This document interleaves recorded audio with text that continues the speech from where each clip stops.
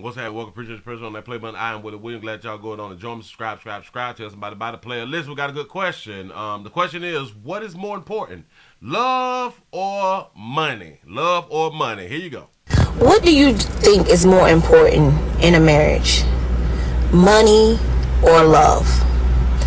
Most people, I would think, would say love. I would think you would want to be deeply in love with somebody. Hey, that's the whole reason you decide to marry them, right? But a lot of marriages end because of financial problems. So, what's more important, love or financial stability? And could you marry someone that you didn't really fall deeply in love with? You may care for, but you married them because they are financially stable. What do you Great think question. is more important? Great question. What is more important if if the breakups and and all of the divorces comes from a lack of finances. Your money ain't together. You ain't got the bag. You know what I'm saying? Your money done fell off. You done done some things that you really weren't supposed to do. You weren't looking at your bank statements and all that stuff right there. And that will destroy a household. That will destroy a family out here in the street. Yeah, so as far as why did people get married in the first place? All right, all right. I can put like the love thing on it. All right, cute. Um, but that's it depends on if both people is like truly in love because we got a lot of people faking love. We got a lot of people faking love, but I would say respect is more important than than both of them. But but you can be with somebody with love and be broke. Real love, real love you all can have some money and y'all just went broke and y'all still together. Now that shit real. Let me explain something to you. listen, listen, listen. The finances is the most important thing. Damn love. But, but, love comes into play if all else fails. You should be able to stick with somebody with love, right? You should be able to stay with somebody because of love. You should be. Nowadays, it's a totally different thing. Um, so I guess we just better keep our money together so we don't have to find out how much somebody loves us or how less somebody loves us.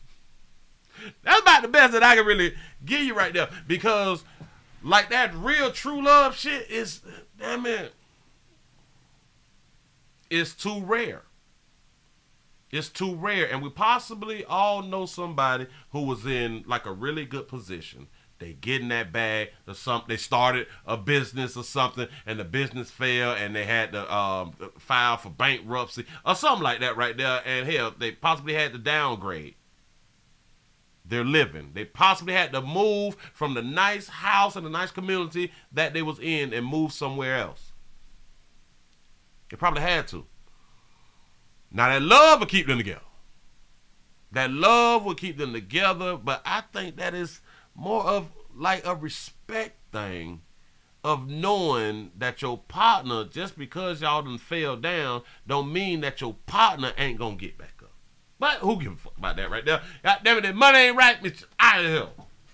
And that's how a whole bunch of people look at it. So I would just say in 2023, all jokes aside, in 2023, I I would say to get to the marriage point, it's the love. To stay married, it's the money. Just my opinion. I don't know. To get married, it's the love. To stay married, it's the money. In 2023. In 2023, love ain't what it used to be, y'all. I, I, the, shit, the shit is overrated. Love is overrated especially for the new generation. The old school love, oh man. Remember when you used to fall asleep on the phone and shit like that right now?